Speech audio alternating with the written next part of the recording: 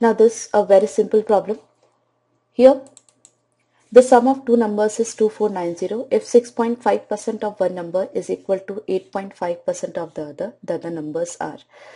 Uh, suppose 6.5% of x is 8.5% of y. That means x is to y is 17 is to 13, right? Now 17 and 13, the this is total 30 parts. Now 30 part is this, right? So 30 part is this and difference is there 4 parts right? So 30 part is 2490 that means 3 part is 249 so we want 4 parts right? That the difference.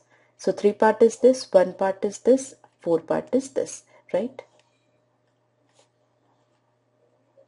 so difference between the numbers should be 332 right?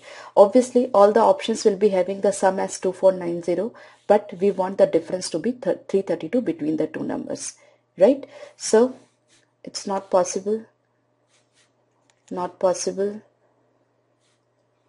here. It's 312 and this is the last option that is 332 so this is the correct choice. Okay